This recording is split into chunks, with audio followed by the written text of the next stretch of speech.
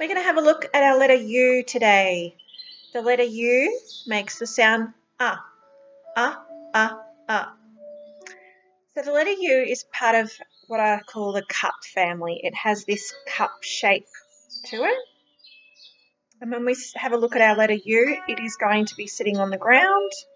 It's going to be touching the grass and it's not going to be touching any of the other lines. It's not going up to the sky or to the underground line. Okay, and we're having our starting point at the grass. So I can use my imaginary box to help me with my letter U. And remember, I just use this box while I'm learning and then I take it away and just picture it there in my mind.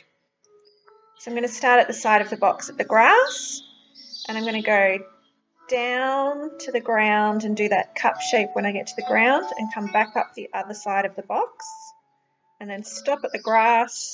Now I'm going to trace back down the same line and do that little kick.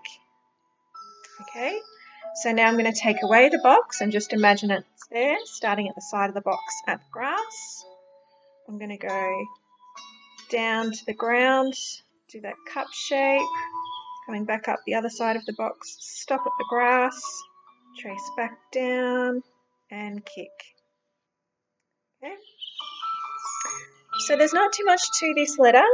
Um, it's just making sure that you've got that curve happening in that cup shape there and trying to make sure that you think about that consistent sizing using that imaginary box there. So we don't want a really skinny U.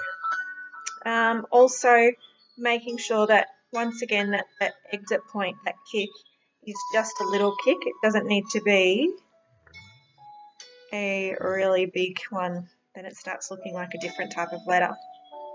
Okay, so have a go with your letter U, and we'll see you for the next one. Bye.